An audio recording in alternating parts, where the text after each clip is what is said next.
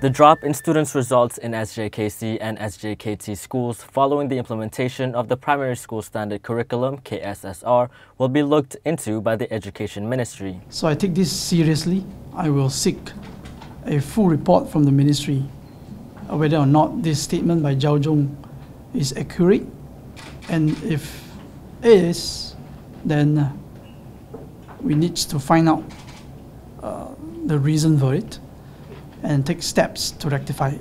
那我要知道退步的原因在哪里？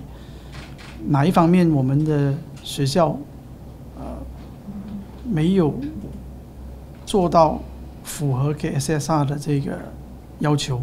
当然，这个检讨对于未来我们国民型学校的发展非常重要。那尤其是当我们的考试模式改变，推行高思维的方式。那么到底这个的冲击又有多大？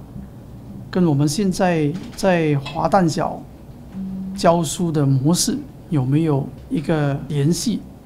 我这点很多很重要的事情需要把它理清，那么做出重要的调整。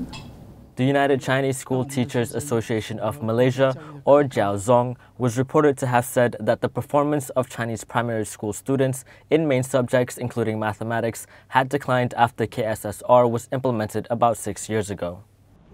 The Deputy Education Minister launched the Nanyang Siang Pau scrapbook contest in Petaling Jaya on Wednesday.